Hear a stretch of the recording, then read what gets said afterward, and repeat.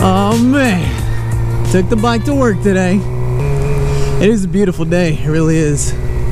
It was like a little chilly on the way to work this morning and uh, super nice right now on the way home. Uh, yeah, it's official. I moved. I am now in a new home. My first home that I purchased. This is the weirdest four-way stop, whatever thing. It's so dumb. But whatever, it's on the way to my new home.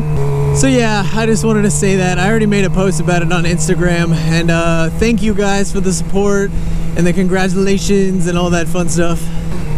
And I, I want to say that I'm going to make more bike videos, but winter is coming, so that may not happen. I mean, as much. Like, right now it's beautiful, and I'll probably take the bike uh, to work a few times at least when it's not raining. I think it's supposed to rain later this week, but we'll see. I may take this out again tonight just while it feels so good out. Who knows? Look at the railroad tracks.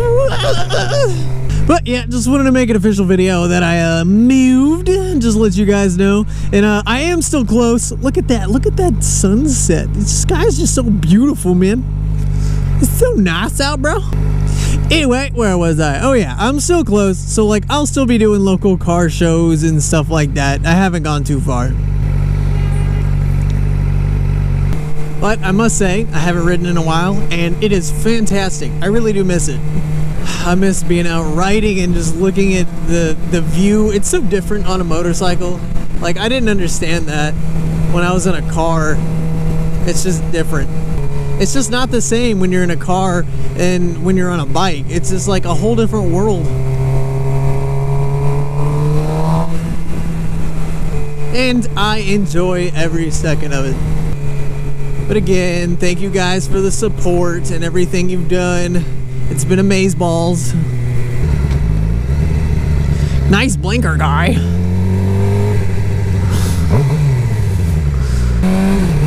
He did the little rev thing, so I did it. I revved. I make kids happy. Wait, it's 2020. I can't say that anymore. People will get offended and think I'm saying something else.